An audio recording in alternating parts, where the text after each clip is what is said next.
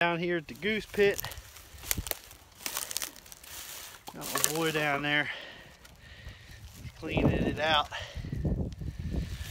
We had pallets right here. And, uh, a lot of mold this year, so ripped them out. And uh, the plywood that was on top. And now we're just down to stone. Plus there's a lot of trash just collecting in there. So trying to clean it up. Gonna leave the top off for a couple weeks. And uh, we've had some migrators coming down, real real high flyers today. So goose season opens up again on Saturday. So see how it goes.